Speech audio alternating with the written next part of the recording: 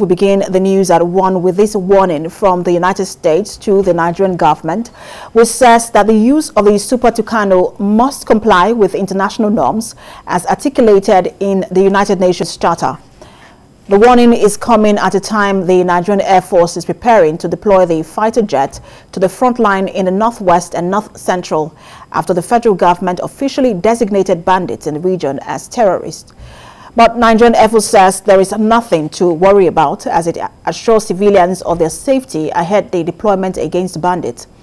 The U.S., while advising Nigeria, said the federal government should not deploy the aircraft in operations that encroach on traditional law enforcement role, which is under police authority. The press attache, U.S. Embassy Jean Clark, in her statement, said the U.S. government was, however, pleased that the Nigerian Air Force had used the A-29 Super Tucanos successfully against Boko Haram and the Islamic State West African province.